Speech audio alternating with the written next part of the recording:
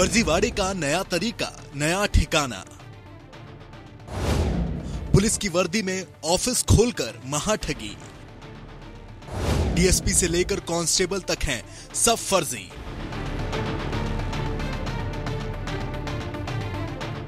आपने आज तक ऐसी ठगी, ऐसा गिरोह नहीं देखा होगा, न इतने बेखौफ ठगों को देखा होगा।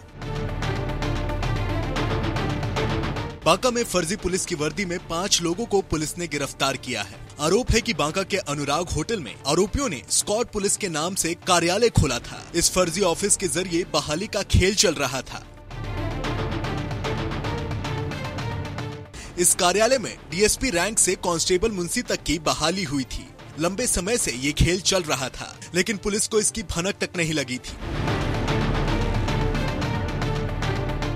ये फर्जी थाना कार्यालय बांका शहर के बीचों बीच स्थित अनुराग होटल में चल रहा था। ऐसे अवैध रूप से चल रहे पुलिस कार्यालय के अवदेदन से बांका पुलिस सख्ते में आ गई है। इस कार्रवाई पर पुलिस का क्या कहना है? सुनिए। गश्ती के क्रम में हमारे टाउन थाना प्रभारी शंभू यादव जी जब गश्ती कर रहे थे, चेकिंग के अभियान में उनको एक महिला एक वर्दी में दिखी जो काफ़ी संदिग्ध उनको लगा। तो उनको पकड़ करके पूछताछ करने के लिए जैसे ही रोके तो वो भागने लगे और जाके उन्होंने और अपने महिला सिपाहियों के सहयोग से उसको पकड़ा। पकड़ करके एक बगल में ही एक गेस्ट हाउस था, जहाँ पर वो लोग एक ट्रस्ट के नाम पर, एक स्कॉट पुलिस टीम पटना के नाम पर इन्होंने बना रखा है एक ट्रस्ट, जो कि इनका काम है, इन्होंने लिख रखा है कि ये एक जिला समादेष्टा कार्यालय पटना में ये लोग आवेदन लेते हैं और ये लोग का कहना है कि हम लोग पुलिस में भर्ती कराएँगे, जो बिल्कुल जाली और एक गलत तरीके से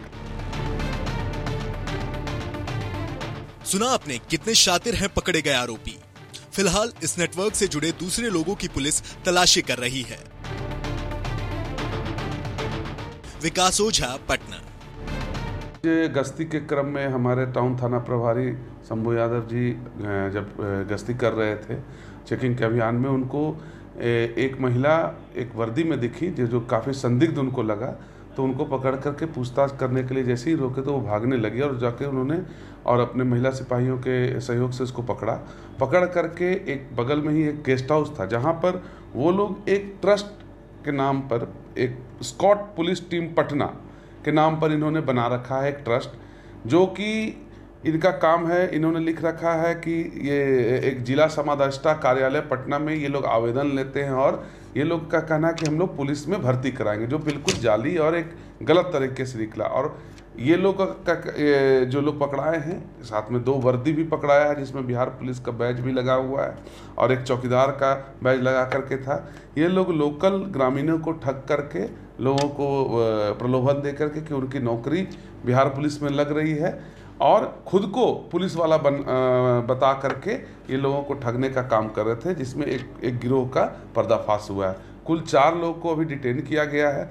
फर्दर अभी पूछताछ जारी है। और अभी इसमें जो तथ्य आएँगे आप लोग को समय पर बताया जाएगा। हथियार भी बरामद एक एक कट्टा है जो कि उसमें था वहाँ पर से बरामद हुआ।